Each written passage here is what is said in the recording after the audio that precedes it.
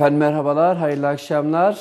Bir ayı uğurluyoruz. 31 Mart 2017 ve hafta sonuna doğru yol alıyoruz. Artık belki de enerjimizin epeyce azaldığı saatler. Hafta sonu itibariyle planlarınız ne olacak bilmiyorum ama ekonomi dünyasına baktığımızda Nisan ayı için oldukça büyük sürprizlere gebe diyebiliriz Nisan ayı. Bunları konuşmak gerekiyor. Beklentiler var, yürüyen işler var. Tabii hayatın koşuşturması içerisinde belki ihmal ettiğimiz birçok konu da olabilir. Biz bunları çalışanlar olarak çoğu kez hafta sonuna sıkıştırıyoruz. Benim için hafta sonunun çok büyük bir değeri var diyebilirim bir çalışan kardeşiniz olarak.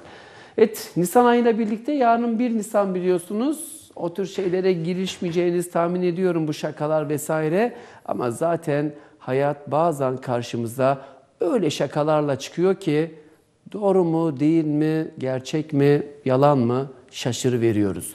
Ama ölüm denilen bir gerçek var. Bugün de biliyorsunuz Hababan sınıfından değerli bir film olarak hatırlarsanız sanatçıyı kaybettik. Allah rahmet eylesin diyorum. Halit Bey ile ilgili olarak sözlerim bu olacak.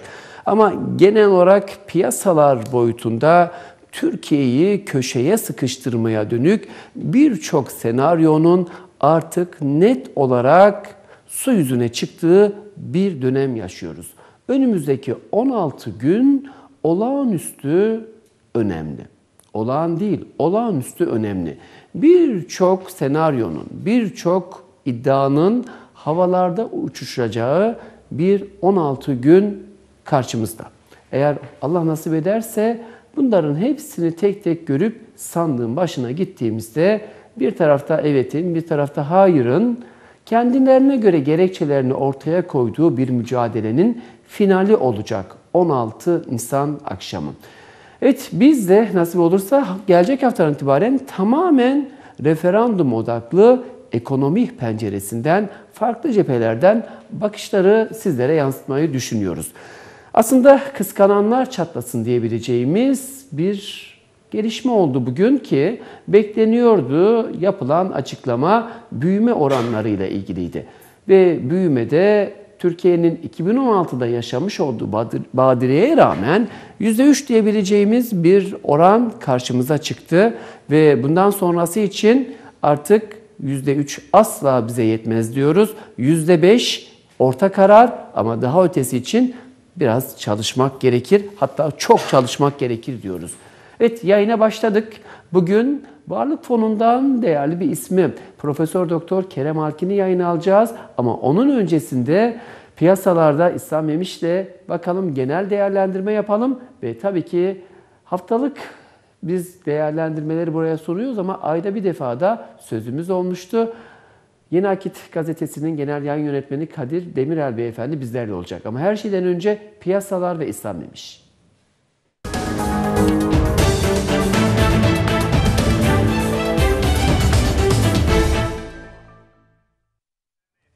Evet piyasaların seyri büyüme rakamları ile beraber sürpriz olmazsa da acaba ne halde? Beklentiler 2.9'un çok altındaydı aslında. Açıklanan rakam fena değil. Ama dış etkileri de dikkate aldığımızda dolardaki iyimserlik sürecinin yeniden yukarı seyirle birlikte biraz soru işaretleri getirdiğini görüyoruz. Acaba bu görüşümüze Sayın İslam Memiş katılıyor mu? Hemen soralım. Hayırlı akşamlar. Ben de hayırlı akşamlar. Yayınlar diliyorum Mehmet Bey. Ee, söylediğiniz bütün e, düşüncelere katıldığını özellikle ifade etmek isterim. Ne güzel 2.2 beklenen bir Türkiye ekonomisi 2.9 olarak açıklandı. Evet. Türkiye ekonomisindeki bu güçlü tutum, bu büyüme rakamları insanları sadece Türkiye ekonomisi büyüdü diye değil, neye rağmen büyüdüğünü özellikle gözden geçirmek gerekiyor. Özellikle dolar kurunda son yılın ilk çeyreğindeki bu süreç itibariyle yaşamış olduğu engame ve Türkiye ekonomisine karşı yapılan ekonomik yaptırımlara rağmen Türkiye ekonomisinin resmi rakamlar statüsünde 2.9 e, büyümesi çok önem arz ediyor. Avrupa ekonomilerine de ders olması niteliğinde önem taşıdığını ifade etmek isterim. Tabii yılın ilk çeyreğinde e, dolar kuru da özellikle dolar sevicileri doların 5 lira olmasını bekleyen e, dolar seviyecileri biraz üzdü. Dolar kuru şu anda 3.64 lira seviyelerinde işlemler yapmaya devam ediyor.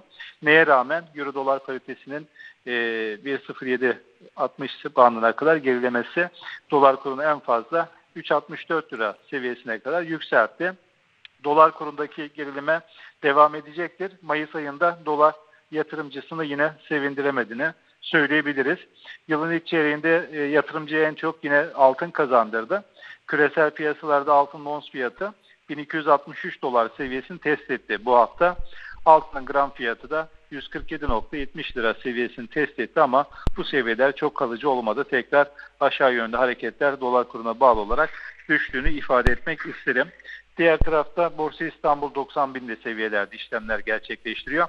En azından 90 binli seviyelerin halen korunuyor olması e, bundan sonraki seyirlerde yaklaşık iki hafta sonra da bir sistem değişikliği var. Türkiye ekonomisindeki e, dolardaki düşüş, borsadaki yükseliş, e, diğer enstrümanların özellikle Türk lirasının diğer para birimlerinin karşısında biraz daha dirayetli durması olumlu bir süreci geride bıraktığımızı Evet. e, bize gösteriyor.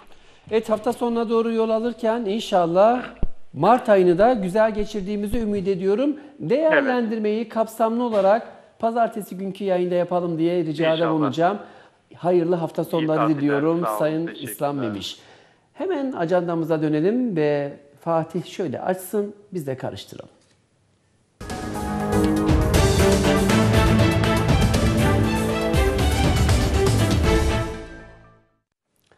Evet aslında ajandamızda güzel maddeler var bugün. Hemen hızlıca geçeceğim çünkü bağlantılarımız ve misafirimiz olacak demiştim. KDV konusu önemli.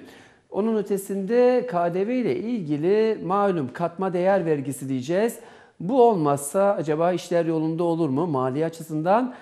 İşin gelirin bel kemiği diyebiliriz ama Sayın Ağbal, Naci Ağbal diyor ki bütün sistemi baştan aşağı gözden geçirdik. KDV reformu yapacağız. Evet reformsuz olmuyor. Türkiye'nin kayıt dışının önlenmesi adına, sektörlerin canlanması adına her şeyin gözden geçirilmesi gerekiyor. Bugün daha dün satın aldığımız bir eşya olsa bile evin içerisinde tekrar acaba çalışıyor mu, sağlıklı gidiyor mu işler diye gözden geçiriyoruz. Değil ki dev bir ülke, 80 milyondan söz ediyoruz. Böyle bir ülkenin mekanizmalarının gözden geçirilmemesi mümkün değil. Her yönüyle geçirilmelidir diyorum. Ve sağlık harcamaları, giderler olağanüstü bir seviyeye gelmiş sevgili izleyiciler. SGK'dan yapılan açıklama var. 68 milyar liralık bir sağlık gideri Olağanüstü bir rakam 2016'ya ait bu rakam. 2016'da sosyal sigortalar. Tabii ki uygulamalar da var. Bu uygulamaları da dikkate aldığımızda eğer ki artışlar da var ise sağlıkta herkese Allah sağlık afiyet versin. Ama genel olarak eğer harcamalarda artış var ise biraz dikkat diyoruz tasarruf. Her başı ağrıyan direkt ilacına, doktoruna falan hemen gitmesin. Biraz sabırlı olmak gerekir diye düşünüyorum. Evet kısa bir bölüm oldu. Ajandadan hemen biz ekonominin gündemine geçelim. Ankara'ya bir selam verelim.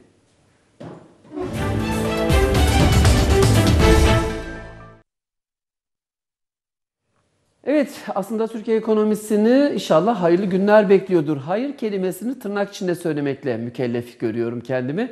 Çünkü bu evet hayır meselesinde çok böyle zaman zaman esprili yaklaşımlar da olabilmekte. Önemli günler bekliyor dersek daha doğru olabilecek. Peki şu anda Türkiye'nin büyüme hızı açısından beklentileri cevaplandırabilecek potansiyeli olduğu halde 2016'daki badireden dolayı %3 kabul edersek iyi bir durumda mıyız? Bundan sonrası için nasıl bir yol haritası izlenmesi gerekiyor? Bu konuda Varlık Fonu'nda önemli bir görevi üstlenen olan Profesör Doktor Sayın Kerem Alkin'e merhaba diyelim. Oradan hemen selamlayarak başlayalım sohbete. Sayın Hocam diyeceğim izninizle merhabalar. Önce hayırlı olsun göreviniz. Teşekkür ediyorum. İyi yayınlar diliyorum. Evet zor bir görevdesiniz. Kolay değil Türkiye ekonomisinin çarkını döndürmek, zorluklar, borçlar, yükler vesaire. Üstelik de böyle bir süreçte. Büyümeden girecek olursak rakamların diliyle nasıl yorumlamak gerek? Ee, aslında büyüme rakamları bugün beklenenden iyi geldi. Öncelikle onu vurgulamak lazım. Ee, benim e, 2016'nın son çeyreği için genel manadaki beklentim 2,45 ile e, 2,74 arası e, bir e, bir büyümeydi. Evet. E, ve çok az bir ihtimal de olsa ki e, Cumhurbaşkanlığı Başdanışmanımız Sayın Cemil Ertem'le dün biz telefonda bir değerlendirme yaptık. O değerlendirmede e, Sayın Cemil Ertem'e ben e, söz konusu son çeyrek büyüme rakamının e, %3,06 e, çıkabileceği ihtimalinden e, dahi söz etmiştim. E, daha az bir ihtimal olmakla birlikte bu ihtimalin de olduğunu söylemiştim. Çok e, hoş bir gelişme olarak benim beklentimin de üzerinde son çeyreğin 3,5 gelmiş olması sevindiricidir. E, bu da tabii e, çok hoş bir başka gelişme olarak e, son, çeyre, e, son çeyrekteki bu 3,5'luk rakam e, biz 2016'nın bütünü için e, %2,4 ile 2,6 arasında e, bir büyüme bekliyorduk.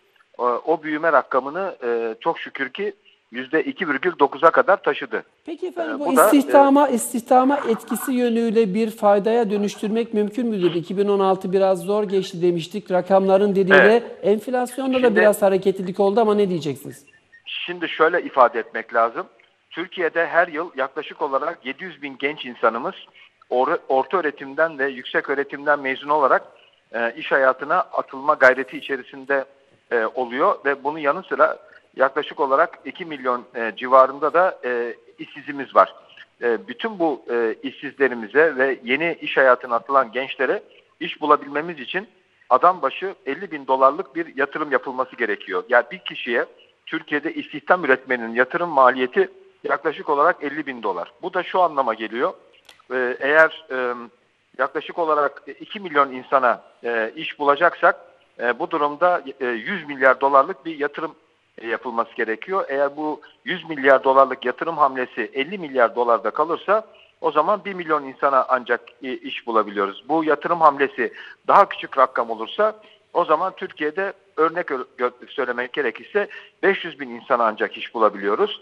O zaman e, iş hayatına atılmak isteyen 200 bin genç insanımız hemen iş bulamıyorlar. Bu da işsizlik rakamının yükselmesi gibi sonuçları beraberinde getiriyor. O yüzden Türkiye ekonomisinde işsizliği azaltacak e, büyüme hamlesi %4,5 ile 5 arasında. E, e, bunun gerçekleşebilmesi için de dünya ekonomisinde küresel ticaretin toparlanması, ihracatta yeniden rekor kırdığımız günlere e, geri dönmemiz ve iç piyasanın da toparlanması gerekiyor. İç piyasanın toparlanmasına yönelik olarak da 16 Nisan'daki referandum e, Evet. umut ediyoruz ki, dua ediyoruz ki e, önemli bir evetle sonuçlanacak. Evetle sonuçlandıktan ve böylece Türkiye'nin önümüzdeki e, uzunca bir dönemi için siyasi istikrar anlamında çok net bir tablonun ortaya çıkmasıyla birlikte yatırım hamlesinin yeniden canlılık kazanmasıyla birlikte bunun istihdama çok olumlu yönde katkısı olacağı kanaatindeyiz. Evet 16 Bununla Nisan. birlikte- Evet buyurun. Buyurun efendim. Bununla birlikte e, e, Sayın Cumhurbaşkanımız e, Recep Tayyip Erdoğan'ın e, çağrılarıyla e, gerek hükümetin gerekse de e, Türk iş dünyasının ve Türk bürokrasisinin e, yoğun çabasıyla bir istihdam seferberliği başlatılmış durumda. Doğru. Bu istihdam seferberliği çerçevesinde Mart ayı sonuna kadar e, yaklaşık 2 aylık bir dönemde 500 bin insanımıza yeni iş imkanı oluşturulacağına dair bir e, bir e, mutlu, bir önemli habere doğru gittiğimizi de gözlemliyoruz. Çalışma ve Sosyal Güvenlik Bakanımız e, Sayın Mehmet Mezinoğlu 465 bin civarında bir rakam açıklamıştı. E, ki bu bir, bir hafta öncesiydi. Demek ki e, bugün bitirmekte olduğumuz Mart sonu itibariyle inşallah bu rakam 500 bine ulaşmış ol- olacaktır. Sayın Hocam şunu da sormak istiyorum. Tabii ki sayın liderler diyeyim, başbakanın olsun, cumhurbaşkanımız, ana muhalefet lideri meydanlardalar ama bir de akşamları genelde iş dünyasında yemekli toplantılar yapılıyor. Merak ediyorum doğrusu iş dünyasının 16 Nisan sonrası beklentileri nedir? Her iki taraflı senaryoya hazırlıklı mıdır? Ben hayır çıkacağı ihtimalini vermiyorum oransal yönden ama yine de sonuçta takdir seçmenin olacak. Bu yönüyle Elbette. baktığımızda e, Türkiye'nin 2017'nin ikinci yarısıyla ilgili yol haritasında Türkiye Varlık Fonu'nun da rolünü üstüne koyarak soracağım. Son 2-3 dakikada değerlendirir misiniz? Evet, yani çok hızlı şunu ifade etmek lazım. Ee, e, tabii umutlarımız evet çıkması yönünde ama Türk seçmeninin e, tercihi ne olursa olsun mutlaka e, siyaset e, hemen e, belki ekonomik ve demokratik reformlara kaldığı yerden devam etmek adına çalışmaları yürütmeyi sürdürecektir. Burada kritik olan e, konu yakın vadede yeni bir seçim konusunun gündeme gelmemesi ve böylece Türk iş dünyasının yeni bir e, seçim tartışmasına hiç e, yoğunlaşmadan tamamıyla işine e, yoğunlaşmasıdır. E, onu e, gözlemlememiz gerekecek. Türkiye Varlık Fonu ise e, dünyanın her yerinde olduğu gibi biz e, e, G20 ülkeleri arasında varlık fonu kurmuş e, son ülkeyiz. Biz e, en sonda kalmıştık ve Türkiye'nin geleceği açısından çok çok önemli bir proje olduğunu, çok önemli bir e, oluşum olduğunu ifade etmek lazım. Sokaktaki vatandaşa ne işine yarıyor? Sokaktaki vatandaşın Sokaktaki anlayacağı- vatandaşın şöyle şöyle işine yarayacak. Türkiye Varlık Fonu e, bünyesinde oluşturacağı fonlarla Türkiye'nin e, yüksek teknoloji başta olmak üzere e, ülkemizde ve dünyada çok önemli projelere imza atması dahil olmak üzere e, burada e, Türkiye'nin e, kamu varlıklarının en etkin şekilde kullanılması, buradan daha yüksek katma değer üretilmesi anlamında önemli bir yönetim becerisi e, ortaya koyacak. Çok profesyonel ekiplerle Evet. ve böylece Türkiye'nin kamu değerlerinin çok daha güçlendiğine, çok daha e, Türkiye ekonomisine olumlu katkılar sağlayacak şekilde, önemli kaynaklar ve imkanlar sağlayacak şekilde işlerlik kazandığına şahit olacağız. E, bunun gerçekleşmesi adına bir profesyonel kadrolaşma süreci gerçekleşecek. Çünkü Türkiye'nin belki de gelmiş geçmiş en büyük holdinglerinden birisi şu anda kurulma sürecinde. E, dolayısıyla biz de e, Başbakanlığa karşı e, olan sorumluluğumuzla, Bakanlar Kurulu'na karşı, bütün vatandaşlarımıza karşı olan sorumluluğumuz çerçevesinde burada iyi bir profesyonel kadronun oluşması, e, uluslararası düzeyde yönetim ülkeleriyle e, bu şirketlerin başarılı şekilde yönetilmesi adına gereken organizasyonun tamamlanması adına bir sürecin içerisindeyiz. Bu tabii birkaç ay alacak. Evet. Ve e, ondan sonra önümüzdeki sonbahardan itibaren e, çok ciddi manada bu sürecin hızlandığına birlikte şahit olacağız ama e, tabii bütün bu yapının kurulması mutlaka birkaç ay olacaktır. Önemli bir görevdesiniz efendim. Sorumluluklarınız büyük. Bu kadar mesai arasında, yoğunluk arasında zaman ayırdınız. Bu arada sizi selamlamışken 3 aylara da girdik ve 3 ayların başlangıcında da rahmetli babanızın da ölüm yıl dönümü. Buradan izleyicilerimizden de en azından bir Fatiha isteyelim diyorum Erdoğan Arkin hocamız Sağ için. olun, var olun. Dün e, e, değerli hocamızın, Evet. e, rahmetli Erdoğan Erkin hocamızın dördüncü e, Doğru. vefat e, yıl dönümüydü. Doğru. Seniye devriyesiydi. Dolayısıyla bunun da e, çok e, önemli, e, bizim için çok anlamlı e, bir e, manevi değerimiz Doğru. olan Regaib Kandili'ne rast gelmesi de ayrı bir anlam taşıyordu. O yüzden dua ettik. E, sağ olsun sevdikleri dualarını esirgemediler. Evet. Ben bu vesileyle tüm izleyicilerimizin ve tüm vatandaşlarımızın hem geçmiş Regaib Kandillerini e, bir kez daha kutlar. E, aynı zamanda da hayırlı bir cuma dilerim. Sağ olun, hayırlı akşamlar diliyorum. Ankara'ya selamlar. Sayın Kerem Alkin'i uğurladık ama stüdyomuzda biz yine 16 Nisan'a odaklanacağız. Ekonomi penceresinden meydanlar diyeceğiz. Meydanları en iyi kim izliyor? Siyasileri bir tarafa bırakalım. Gazeteciler ve gerçek kimlikli gazeteciler. Bu konuda da Yeni Akit gazetesinin genel yayın yönetmeni Sayın Kadir Demirel. Kısa bir aradan sonra bizlerle olacak.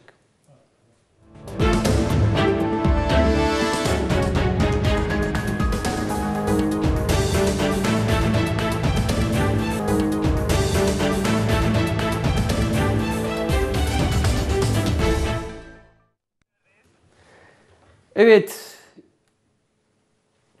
Büyüme. Aklım nerede kaldı biliyor musunuz? Böyle düşünerek size selamlarken e, yüzde üçle nereye gidilebilir? Aslında hakkımız ne? Daha doğrusu yüzde beş, yüzde altı, yüzde yedi. Şimdi İstanbul'un kalabalık memleket olduğu için kaldırımlarında yürürken zorlanıyoruz. Bırakın araçla bir yere gitmeyi. Yaya olarak yürürken hepimiz bir şeyin telaşındayız. Abi işim yoğun.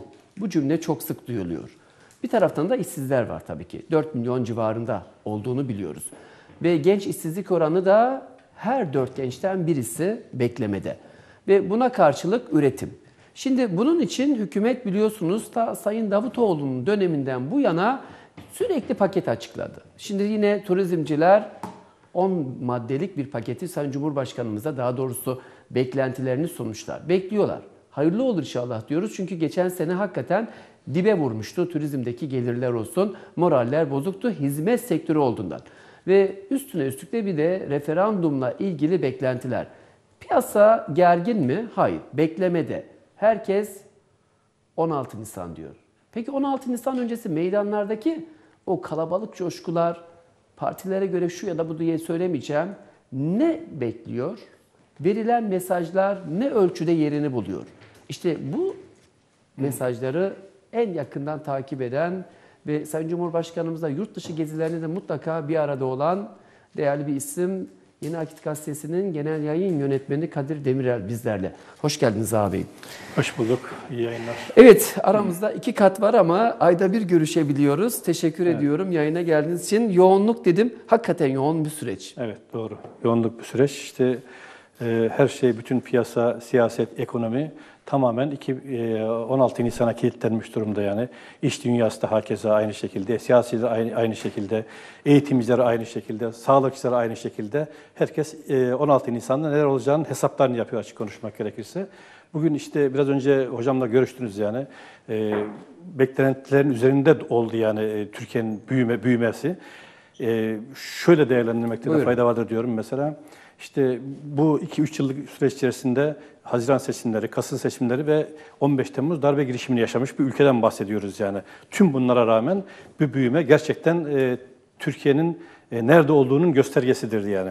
Bunun dışında işte bakıyorsunuz e, Avrupa ülkelerinde işte ırkçılar, naziler, herkes Türkiye'ye karşı düşman e, düşman olmuş. E, kartlarını aşmışlar. Türkiye'den evet çıkmasın, hayır çıksın kampanyası yapıyorlar. Yani bunu göz Bunlar- göre he, göre hala yani- ben şuna şaşıyorum.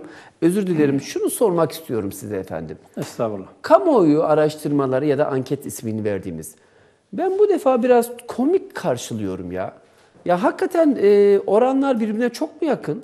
Yoksa AK Parti biraz daha yüklenmek adına, e, teşkilatın gevşememesi adına bir mesaj veriyor olabilir. Yani bu ikinci söylediğiniz bence daha onu- çok evet. makul ve mantıklı yani. Neden yani? Gevşeme olmasın yani. Çünkü bizim insanımızda, yani bizim yapımızda böyle bir şey var yani. Ben de bir şey bir şey kazanmayı garanti etmişsek yani ulan boş ver nasılsa kazanacağız. Ben sandığın başına gitmesem de olur. Ben bunu almasam da olur. Şu parayı harcamasam da olur. Böyle bir mantık mantalite bizde var yani. Tüm bunları bertaraf etmek için e, daha güçlü, daha sıkı çalışmak için hep bu argümanı kullanıyorlar yani. Sadece bunda değil mesela Cumhurbaşkanımız da Sayın Recep Tayyip Erdoğan da Başbakan da şunu söylüyorlar mesela. Hala 15 Temmuz e, darbe girişimi evet onu biz bastırdık ama, Ama hala böyle bir faktörler. tehlike var diyorlar yani. Bu tehlike var demek yani şu manaya gelmez yani. Evet FETÖ'cüler gelecekler hala hemen burada darbe yapacaklar. Askerler gelecekler darbe yapacaklar. F-16'lar havalanacak darbe. Böyle bir şey yok ya ama insanları diri tutmak için böyle bir şeye ihtiyaç var mı? Var yani. Ekonomide var, siyasette var, politikada var, sağlıkta var, yatırımlarda var. Her şeyde var yani. Bunu bu şekilde değerlendirmekte fayda vardır diye düşünüyorum yani. Şimdi efendim madde madde burada anayasada maddelere baktığımızda çok sosyal içerik, teknik bilgiler var ama sanki hiç ekonomiden söz edilmiyormuş gibi bir mesaj da var. Ya bana ne diyenler de var. Acaba işte birilerinin hükümranlığının devamlılığı gibi algılayanlar var.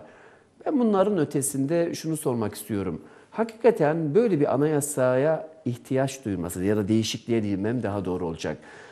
Türkiye'nin e, G20'lerin içinde ilk ondan söz ediyoruz ve 2023 vizyonundan söz ederken biz nasıl olacak da birdenbire sıçrama yapacağız? 16. sıralardan 10. sıraya Avrupa Birliği ile böyle bir sıkıntı var iken yani bunun bir yerden güç almadan ilerlemek mümkün değil. Değil, Bu doğru. gücü galiba 16 Nisan'da milletten alacak. Evet. E, milletten alacak 16 Nisan'da. Bugün ben size bir şey söyleyeyim yani. Buyurun. E, Allgemeine Zeitung diye bir gazete var, Alman gazetesi. Baş editörünün şöyle bir yazısı var. Bunu diyor ki, dünya hava trafiğinin kalbi İstanbul'da atacak diyor. İstanbul dünya hava yollarını birbirine bağlayacak. İlk etapta 200 milyon yolcuyu transfer edecek diyor. İşte tüm bunların altında yatan gerçek bu yani. Efendim her Özet, sosyal özet, özetlemiş aslında yani. her sosyal ilişkinin altında bir ekonomik bağ var. Kesin kesinlikle Kim vardır yani. derseniz. Yani bugünkü Batı'nın düşmanının alt- altında da bu var, Amerikan düşmanının altında da bu var. Bütün her şeyin altında bu var. Yani nedir yani? Diyoruz ki e, şu güne bugüne kadar mesela 60-70 milyon e, yolcuyu ağırlayan bir havaalanından 200 milyon yolcu ağırlayan transfer e, transferin odak noktası haline gelmiş İstanbul'dan bahsediyoruz. Frankfurt'un havalanını e, geride bırakıyorsun. İngiliz İngilizler havalanlarını geride bırakıyorsun yani. Dolayısıyla Türk ekonomisine inanılmaz derecede bir katkı sağlıyorsun yani. Onun için yani Almanya'nın, Avrupa ülkelerinin haçlı zihniyetinin Türkiye'ye karşı çıkmasının nedenlerinden bir tanesi birincisi hatta ben diyebilirim ki bu yani. Biz e, bunlarla elbette siyasi olarak diplomatik dillerimizi kullanacağız ama şu manaya da gelmemeli yani. Biz Almanya'yla, Fransa'yla, İngiltere'yle, işte İtalya'yla, İspanya'yla ekonomik bağlarımızı koparacağız anlamına gelmez. Win-win diye bir olay var. Ne diyorlar? Kazan kazan yani. Biz de bu şekilde kazanacağız ya. Bundan çıkış yolu yok yani. Şimdi Zeyt arkadaşım ekrana yansıtacak. Ekonomiye güvenin arttığı bir ay geçirdik. Tebrik etmek lazım. Burada ekonomik güven endeksi verileri hemen hemen yüzde efendim oran olarak 96.1'e kadar gelmiş. İşte burada. Yani Evet. çok çok iyi bir rakam. Ve geçen seneki Badire'ye rağmen söylüyorum bunu. Şu noktadayız biz sevgili izleyiciler. Yani Bayağı üçüncü bir- aydayız. Geçen yıl herhangi bir şey yok iken bile yani 15 Temmuz vesaire gibi bir hadise yokken bile %93 iken şimdi güvende vatandaşın piyasaya olan güvenidir bu. %96.1 yani %100'e şurada bir adımlık bir şey kalmış. Bu size ne gösteriyor bir gazeteci yönüyle baktığınızda? Bu aslında e, milletin bu hükümete, bu devlete güvendiğini gösteriyor yani. Biz zaten iş adamlarına falan da bakıyorsunuz. Yatırımlarda bir durma var mı yani? Çok fazla ciddi bir durma söz konusu değil. İşte inşaat sektöründen bahsediyorsunuz. Geçen hafta, geçen ay galiba zannediyorum 100, 100 binin üzerinde bir e, inşaat... 104 bin. Ben 104, burada evet. ilk kez benden duyacaksınız. Bugün şu dakika itibariyle artık 31 Mart kampanyalar sona erdi. Ne yönlü? Sağlanan o kredibilite olsun, işte fiyat indirimleri olsun, %20 peşin alımlar olsun sona erdi. Efendim 2700 adet sadece emlak konutun e, sattığı daire ve bunun karşılığında 3,5 milyar lira kasasına girdi. 1 Şubat 31 Mart arasında resmi açıklama yapılacaktır. Takribi bilgi veriyorum çünkü emlak konut biliyorsunuz sevgili izleyiciler BIST'te yani borsaya kote bir şirket. Burada takribi bir bilgidir, resmi bilgi değildir. Onu da özellikle vurgulamak istiyorum. 3,5 milyar iyi Evet. bir rakam. İlk- Ve evet. böyle bir süreçte bu neyden kaynaklanıyor? %35'i ipotekli olduğu halde alımların geleceğe olan güvenle alışveriş Güven, yaparsın güven, değil tabii. mi? Türkiye'nin potansiyelinin ne kadar yüksek olduğunu gösteriyor aslında bu yani. Ee, bir de güven güvenle de ilgili var tabii. Türkiye biliyorsunuz rahatlıkla bu şey aşamayı e, rahatlıkla büyüme hızını geçti yani. Avrupa ülkelerine falan baktığın zaman aynı e, büyü- büyüme hızını görmek mümkün değil yani. Ya aslında işte Yunanistan başta olmak üzere İtalya'sı, İspanya'sı falan vesaire yani bütün bunlar şu anda ekonomik olarak can çekişiyorlar yani. Avrupa Birliği ülkeleri Avrupa Birliği'nin temel e, temel taşını İspanya'nın ben Evet, şeyini yani- duymuyorum yani- %20'lerin üstünde hatta yani. Fransa'da Evet, yine yani. sıkıntılar var. Sıkıntılar var yani. Enflasyon yönlü olmasa bile işsizlik %5'ler 4'ler de olsa öyle bir medeniyet diyorlar ya Evet. tırnak içinde. Evet. Öyle bir ülkede olmaması lazım. Efendim Türkiye'de de sadece biz tabii İstanbul odaklı, Ankara, İzmir, Büyükşehir odaklı değil Anadolu'daki saygıdeğer izleyicilerimize de moral vermek durumundayız. Hakikati paylaşmak adına. Cazibe merkezleri projesi gündeme geldi. Sayın Bakan dün açıkladı. Bu e, biliyorsunuz e, açıkladı. Ocak ayının başında bir Başbakan Binali Yıldırım'ın açıklamış olduğu bir e, cazibe merkezleri nelerdir diye e, biliyorsunuz Doğu, Güneydoğu olmak üzere 5 bölgeye ayırmışlardı. O 5 bölgede. Ya, evet ya 23 23 Evet, zannediyorum. 23 evet, ilde galiba öyle bir şey vardı. Evet. Bunları bunlar içinde e, e, 23 ile yatırım inanılmaz derecede bir yatırım fonları açtılar yani. Dolayısıyla bu Başvurular oldukça memnuniyet verici. evet, memnuniyet verici. E, Dolayısıyla bu 16 Nisan'dan sonra bunların birçoğu hayata geçirilecek. Bu şu demektir yani oralardaki bölgesel kalkınma daha da güçlenecek, ekonomi daha da güçlenecek. O da dolayısıyla İstanbul'a yarayacak, işte İzmir'e yarayacak falan büyük şehirlere yarayacak yani. E, Bunun altını çizerek e, söylemekte fayda var. E, Oradaki yatırımlar gerçekten e, rentable bir şekilde kullanmaya başladığında bu aynı zamanda niye e, işsizliğin de daha beri çekilmesine, e, geri çekilmesine sebebiyet verecek yani.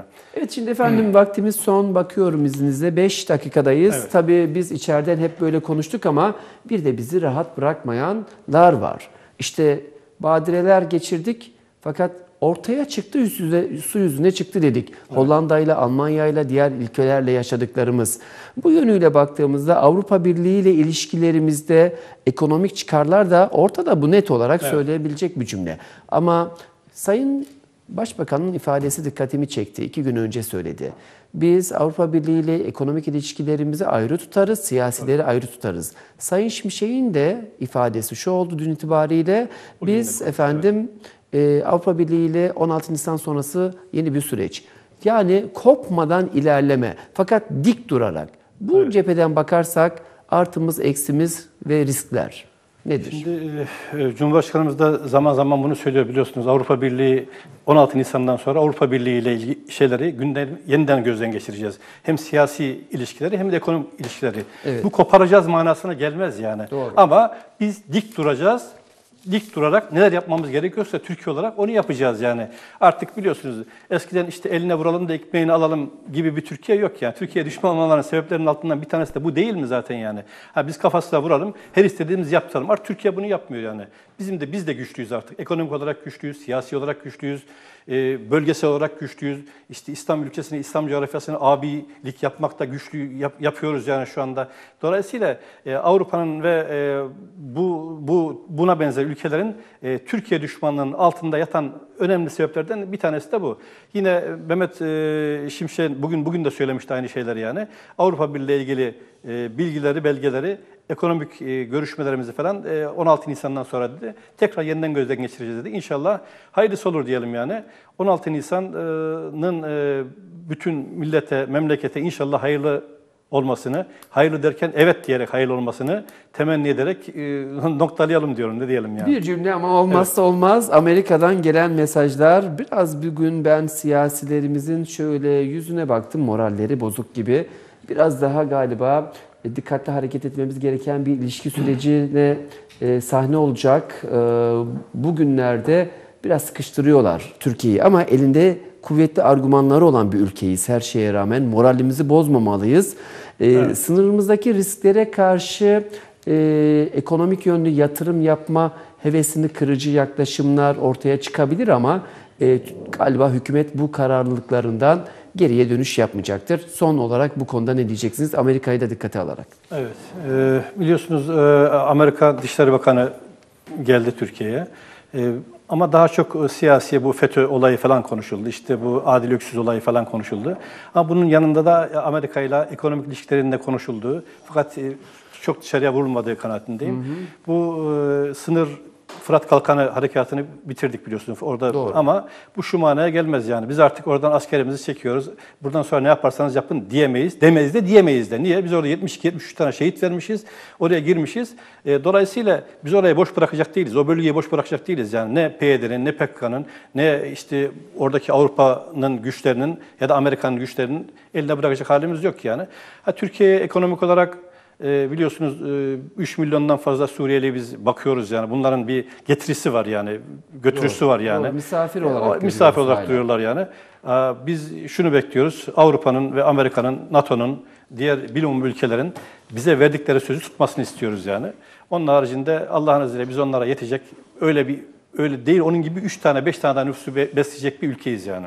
Evet sadece uluslararası değil keşke kendi aramızdaki sözleri de tutabilsek. Söz verildiği yerde değeri muhafaza edebilsek. Maalesef sosyal ilişkilerimizde şöyle bir bakıyorum da bu konuda da biraz kendimizi sorgulamamız gerekiyor her yönüyle. Efendim aslında Kadir Bey ile konuşacak çok konu vardı ama genel hatlarıyla önemli olanları, öne çıkanları konuştuk. Bir sonraki randevumuz Kadir Bey ile aslında bir ay sonra ama ben diyorum ki uygun olursa 14 Nisan Cuma günü tekrar bir araya gelelim. Referanduma şöyle iki gün kala hem kamuoyunun beklentileri, İnşallah. anketleri konuşalım o gün için. Hakikaten neden evet, neden hayır üzerinde İnşallah. bir bakalım diyorum. Tamam, inşallah. Efendim, hayırlı olan her şey için evet, hayırsız olan da Allah korusun bizden uzak tutsun diyoruz. Ve genel olarak baktığımızda hafta sonunda güzelliklerle geçmesini temenni ediyorum. Yarın saat 15.15'te biz yine güzel bir şeyler paylaşalım diye eğitim programında sizlerle olacağız. Ve bu defa sağlık meslek liselerinde Sayın Cumhurbaşkanımızın vermiş olduğu bir söz var. Onun üzerine yoğunlaşacağız. Kısmet olursa misafirlerimizle ayrıca biliyorsunuz üniversitenin birinci sınavı açıklandı. Onunla ilgili de değerlendirmelerim olacak. Pazartesi günü de iş ve ekonomide yine görüşeceğiz. Allah'a ısmarladık. Hayırlı hafta sonları.